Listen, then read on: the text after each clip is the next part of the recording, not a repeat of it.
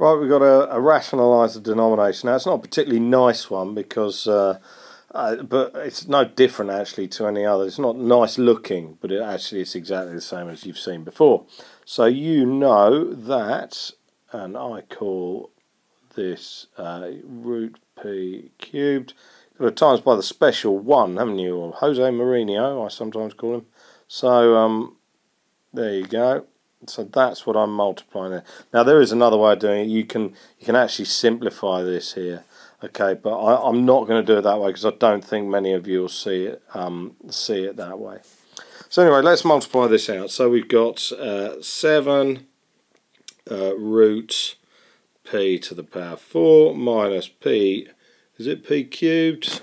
Is it p squared? I can't remember. Oh, it's p squared. I do apologise. So that should be p squared. p squared root p cubed all over p cubed.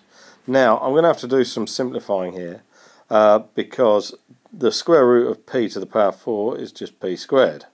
Alright, and this here, and this is what I was talking about um, simplifying this, I could rewrite this as p root p, okay, because I could say that p cubed, uh, sorry, root p cubed is the same as root p squared times p, which simplifies to this.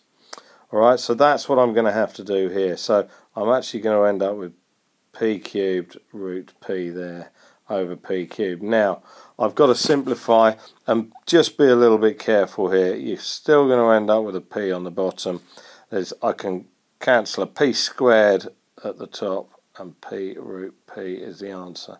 Like I say, I could do this bit here, all right, right at the beginning and multiply through by root p, but it doesn't make any difference. I don't think any any many people, sorry, will spot that. So there we go.